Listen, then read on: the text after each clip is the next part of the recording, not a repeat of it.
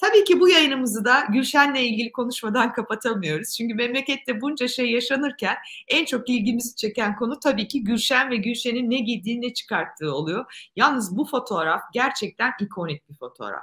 Yani hani sizin meşrebinize uygundur değildir ben onu bilmem ama şu fotoğraf bir yani e, gerçekten kült bir fotoğraf olmaya aday bir fotoğraf. Kadın cesur arkadaşlar. Kadın kendisini bir kimlik olarak, bir bir görüntü olarak konumluyor, bir persona olarak konumluyor. Ee, bir, yani e, ben çok beğendim.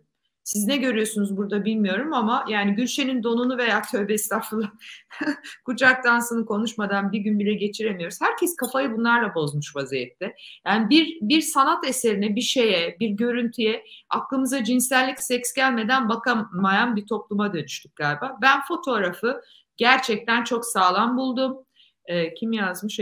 Gonca da çok yaratıcı bulmuş. Lady Gaga gibi. Evet aynen.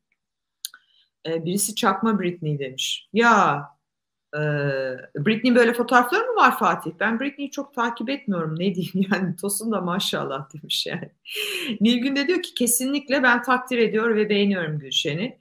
Fatma Efe demiş ki ben şahane bir kadın görüyorum kadın olarak. Aynen ya yani Aras demiş ki her yerini görüyoruz. Ben hiçbir yerini görmüyorum biliyor musun? Ben mesela kaslarını görüyorum kadının.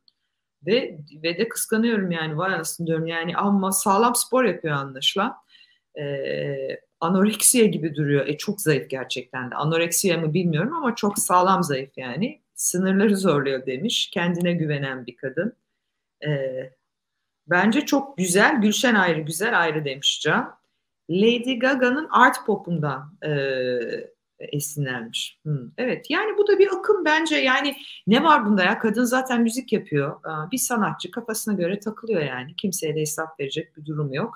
Ben de aynı fikirdeyim. Cem de öyle yazmış. Pop şarkıcısı başka nasıl poz vermesini bekliyorlar? Anlamadım demiş. Ee, ay evet ya Goncacığım. Benim de istediğim o. Yani bu beden denilen şeye bakış açımız bir gün değişirse hepimiz özgürleşeceğiz galiba.